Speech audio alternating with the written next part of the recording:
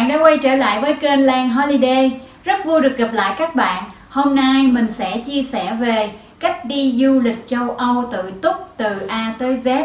Vì có nhiều bạn hỏi mình về cách đi du lịch tự túc và đi như thế nào cho an toàn. Trước đây mình được visa châu Âu hai lần, một lần là được một năm và mình đã đi được 21 nước ở bên châu Âu và bây giờ mình sẽ chia sẻ hết tất cả mọi thứ mình đã biết cho các bạn, để cho các bạn tham khảo, để chuẩn bị cho hành trang đi du lịch châu Âu của mình trong tương lai được tốt đẹp hơn. Và ở phần cuối của video này, mình sẽ để một trang thông tin chi tiết về vài trang web để cho các bạn có thể à, đặt vé à, máy bay và đặt à, khách sạn được giá tốt hơn. Về được visa châu Âu, thời hạn ít hay nhiều một năm hay hoặc là một tháng hay là ba tháng, sáu tháng gì đó, thì đại sứ quán người ta sẽ xem xét tùy theo trường hợp của mỗi người. Mà lúc đó đó, người ta sẽ cấp ờ, visa thời hạn bao lâu cho các bạn nha.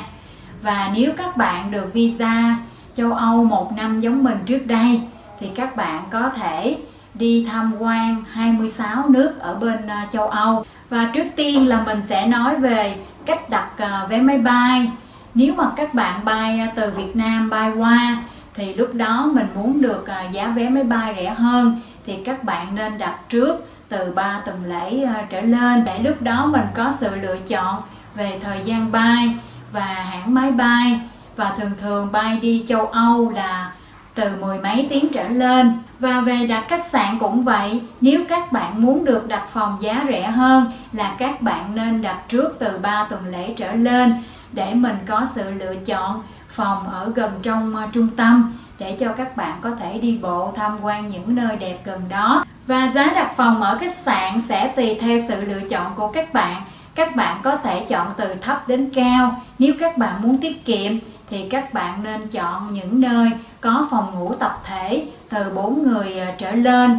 Và những nơi này, đôi khi người ta cũng có cho ăn sáng miễn phí và cho mình nấu ăn ở ờ, chỗ đó luôn. Và đến ngày các bạn bay đến châu Âu, sau khi các bạn đã hạ cánh ở sân bay rồi, là mình đi thẳng vào bên trong ship hàng để chờ đến lượt mình. Gặp nhân viên hải quan, người ta sẽ hỏi mình vài câu trước khi người ta cho các bạn nhập cảnh. Lúc nhập cảnh sẽ khác nhau vì tùy theo thành phố và nước châu Âu mà các bạn đến nữa. Thường thường người ta sẽ hỏi là mục đích qua đây là gì và ở bao lâu? Thì trước đó các bạn nên chuẩn bị lịch trình của mình là mình sẽ đi đâu, mình sẽ làm gì và mình sẽ ở đâu đó. Thì các bạn nên chuẩn bị bằng giấy tờ hay hoặc là mình lưu những cái thông tin này ở trên ờ, điện thoại của mình.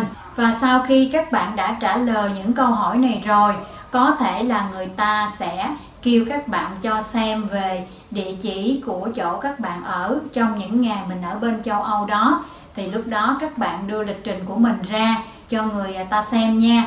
Và sau đó nếu mà mọi thứ đều tốt hết, thì lúc đó người ta sẽ đóng mộc để cho các bạn à, nhập cảnh bình thường nha. Và sau khi người ta đã đóng mộc cho các bạn rồi là mình sẽ đi qua một bên khác để lấy hành lý. Và sau khi các bạn đã lấy hành lý rồi, lúc đó mình muốn đi đến khách sạn hay hoặc là những nơi khác mà mình muốn thì các bạn có thể đón taxi, Uber, xe bus hay hoặc là tàu điện.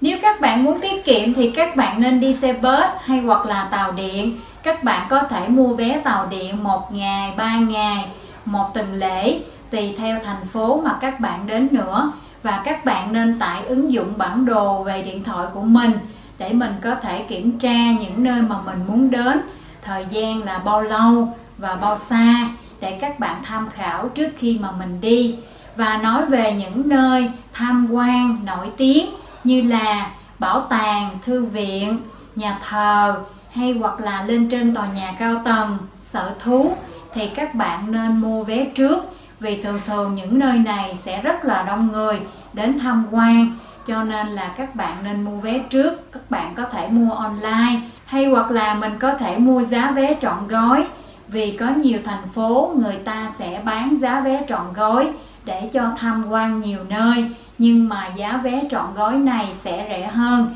Ví dụ như các bạn muốn đi tham quan 10 nơi xinh đẹp ở thành phố đó, thì các bạn mua giá vé trọn gói này, mình sẽ đi được tham quan hết 10 nơi đó. Nhưng giá vé thì rẻ hơn rất nhiều.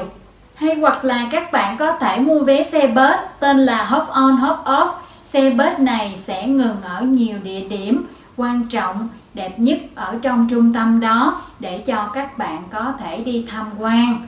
Và nói về ăn uống, sẽ tùy theo thành phố và nước châu Âu nào mà các bạn đến nữa. Người ta sẽ có nhiều món của địa phương và nhiều món của nhiều nước khác nữa. Và cũng có nhiều thành phố ở bên châu Âu sẽ có nhiều món Việt Nam nữa và giá cả sẽ tùy theo sự lựa chọn của các bạn. Các bạn có thể đến những nơi bình dân hay hoặc là cao cấp sang trọng hơn, sẽ tùy theo sự lựa chọn của mình. Và bây giờ mình sẽ nói về cách đi như thế nào cho an toàn. Nếu các bạn đi với tour hay hoặc là từ hai người trở lên thì sẽ an toàn hơn. Nhưng các bạn nên lưu ý, đến chỗ đông người là mình nên để ý về túi sách ba lô, ví tiền của mình và những bạn đi một mình cũng phải nên để ý giống như vậy. Nhưng các bạn nữ phải nên lưu ý, không nên đeo túi sách hàng hiệu mắc tiền hay hoặc là đi những nơi vắng vẻ vào ban đêm. Vì có vài nước châu Âu sẽ không được an toàn, vì sẽ có nhiều người móc túi, giật giỏ hay hoặc là chạy xe Honda giật túi sách của mình, giống như ở Việt Nam mình đó các bạn. Cho nên các bạn phải nên lưu ý nha và những lúc mình có nhờ người lạ chụp hình đó là mình cũng phải nên xem người đó có phải là dân du lịch giống như mình hay không. Rồi sau đó các bạn hãy nhờ người ta chụp hình cho mình nha. Và nói về từ nước châu Âu này, bay qua nước châu Âu khác, thì các bạn có thể đi xe bus, tàu hỏa hay hoặc là máy bay. Vì nhiều nước ở bên châu Âu rất là gần nhau, các bạn có thể đi xe bus hay hoặc là tàu hỏa thường thường thời gian chỉ từ 2-3 tiếng thôi và sẽ tùy theo nước mà các bạn đến nữa. Và các bạn có thể đặt vé online hay hoặc là mình đến trạm xe bus hay hoặc là trạm tàu hỏa để mua vé. Và từ nước châu Âu này đến một nước châu Âu khác bằng xe bus hay hoặc là tàu hỏa thì người ta sẽ không có đóng mộc ở trên hộ chiếu của mình. Chỉ có các bạn bay đến thì lúc đó người ta mới đóng mộc ở trên hộ chiếu của mình thôi. Ví dụ như từ Việt Nam các bạn bay qua một nước nào đó ở bên châu Âu, thì lúc đó người ta chỉ có đóng mộc một lần cho mình. Và sau đó, nếu các bạn đi nhiều nước khác nữa mà bằng xe bớt hay hoặc là tàu hỏa, thì lúc đó người ta sẽ không có đóng mộc ở trên hộ chiếu cho các bạn và đến ngày về thì các bạn bay về thì lúc đó người ta sẽ đóng mộc ở trên hộ chiếu của các bạn một lần nữa. Và những thông tin mình vừa nói xong, nếu các bạn có thắc mắc, có thể hỏi thêm mình mình sẽ chia sẻ hết tất cả mọi thứ cho các bạn. Vì trước đây mình đã đi châu Âu nhiều lần tự túc một mình. Và mình mong những bạn nào chưa có đăng ký kênh Lan Holiday, hãy đăng ký kênh để nhận thêm nhiều video mới trong tương lai. Và xem thêm những video mình đã đăng mình có chia sẻ về cách xin visa châu Âu một năm mà mình được hai lần là hai năm của mình trước đây.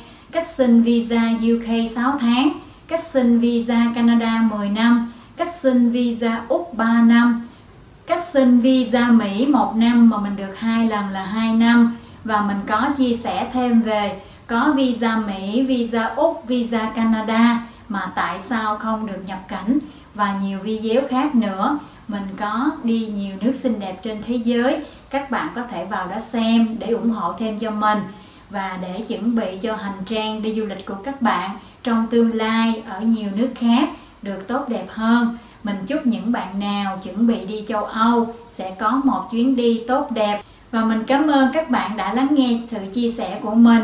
Hẹn gặp lại các bạn ở những video sau. Cảm ơn. Bye bye.